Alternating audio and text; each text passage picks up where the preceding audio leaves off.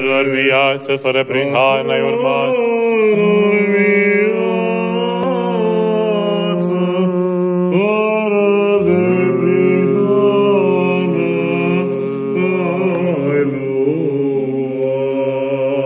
Având îndrăznire către Hristos Dumnezeu, Răznire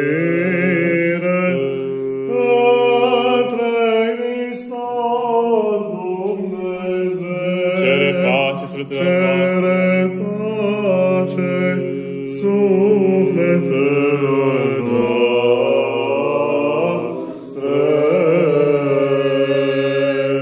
Și atunci